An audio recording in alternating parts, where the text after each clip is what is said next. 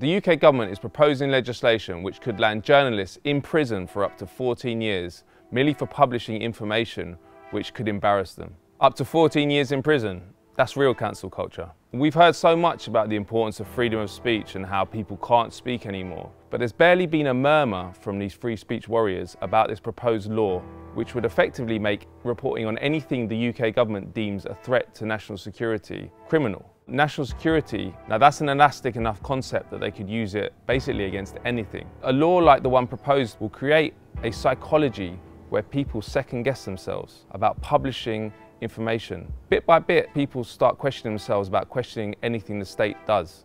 And then you're in a very dangerous, dark place. You saw the general worldwide clampdown on independent journalism recently with the Pegasus revelations.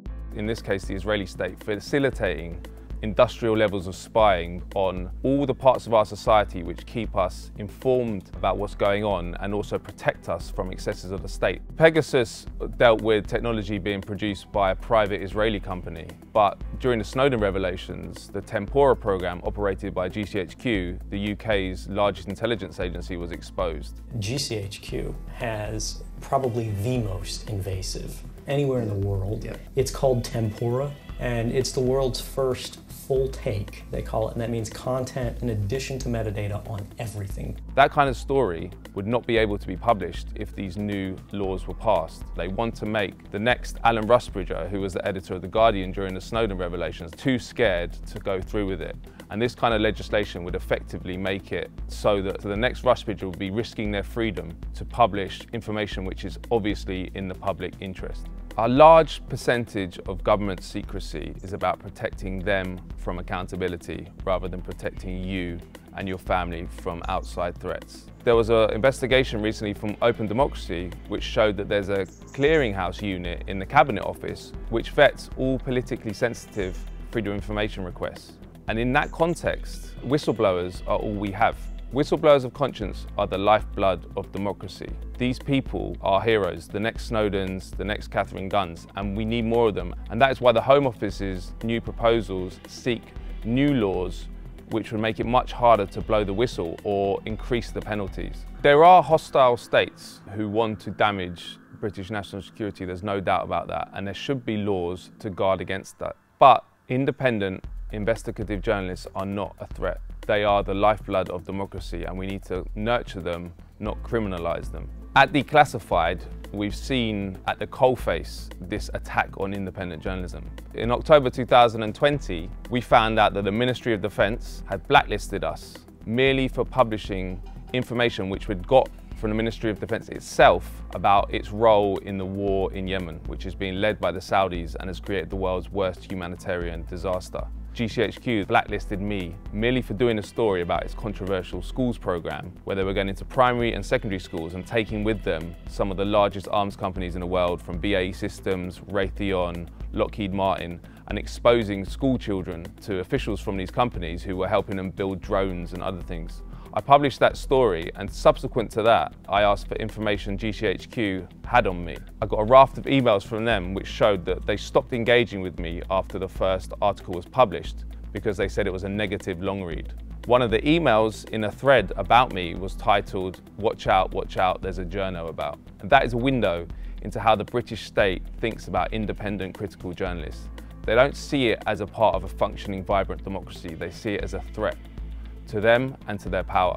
They constantly extol the virtues of a free media and a free press. This is the day on which uh, we call for an end to impunity for those who commit crimes against journalists around the world. Look after the freedom of the press and stick up for journalists and all those who tell the truth to power.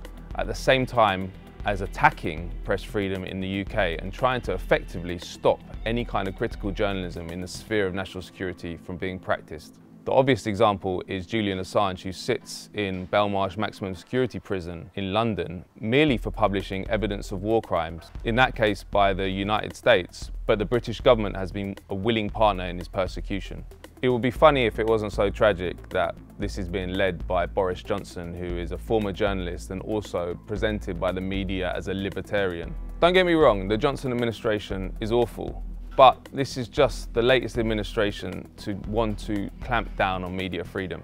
When Dr. David Kelly revealed information that undermined the case for the war in Iraq through the BBC, the Blair administration went to war with the BBC and tried to destroy him and destroy the journalist that was producing the reports. The Law Commission, where many of these proposals to clamp down on media freedom started, published their recommendations in 2017.